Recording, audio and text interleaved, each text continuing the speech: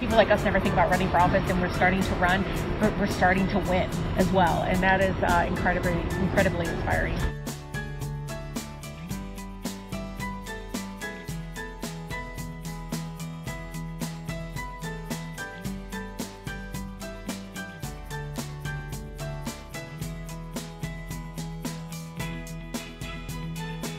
You should have been able to stop him polluting our community.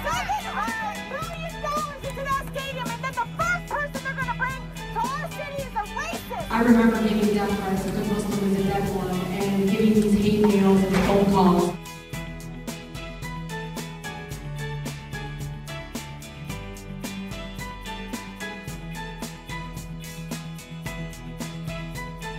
I think that was the most patriotic thing you could ever do is disrupt somebody that doesn't believe in our Constitution, that doesn't believe that women shouldn't be sexually harassed in the workplace, that doesn't believe my son as a Muslim could be president of the United States one day.